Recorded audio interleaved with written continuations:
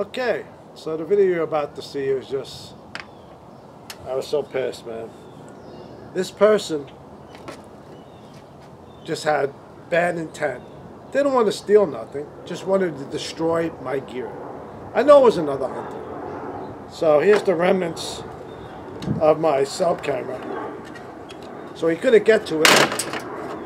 So he just beat the thing to death. You can see it's all it was all broken up. Like pieces were everywhere. Batteries were out. And my stand, I had a chain, so they just did whatever they could to get it down. They even shit, shoved stuff in my lock so I couldn't disconnect it. And you seen all my steps. I had a lifeline there. They took that. They ripped everything down. They just ripped it down. They didn't steal a thing. They just do it on the ground. My lifeline they took. But everything else they just literally threw it on the ground. And I, I just don't get it. I'm I'm gonna give up on that area. It's been getting bad the last couple years anyway, so I gotta find a new area. But uh, it's just so frustrating because I I am I share my hunts. I let people hunt out of my stands. I share information. I help them. If they get a deer, and I don't, I don't care. I'm just not like that. And uh, just really, really frustrating what's been going on. So even this is broken. So that's it. Bullets and Broadheads. I don't know what to tell you boys and girls, but that was my last hunt. I wanted to go to this spot.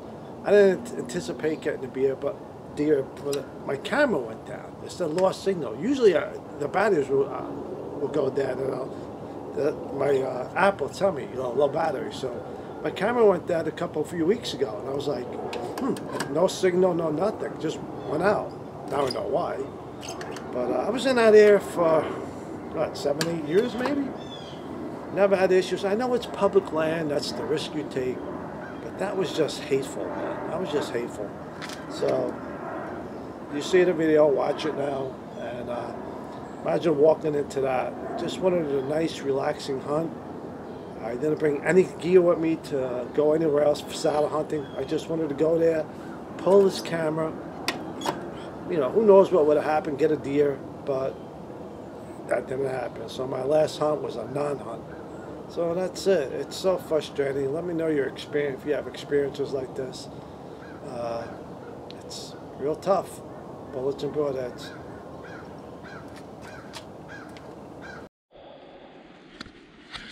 Well, here's a stand I haven't hunted in about a month. It's one of my, I had to stand here. I was, I'm just very upset. they brought everything down and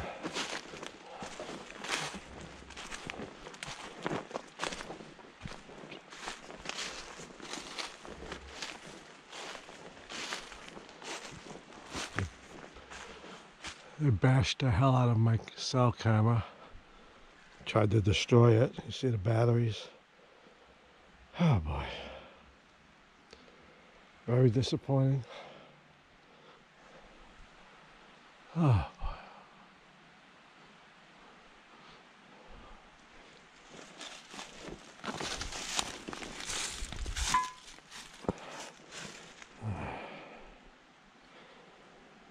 Think they broke this off. See the batteries are all over the place. Oh yeah, they destroyed it. It's gone actually.